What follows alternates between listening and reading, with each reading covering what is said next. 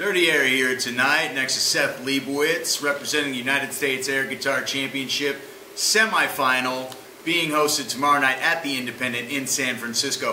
Seth, rumored to be 21 competitors tomorrow night. Awfully steep of a field. Who do you think has a chance of ending up on top?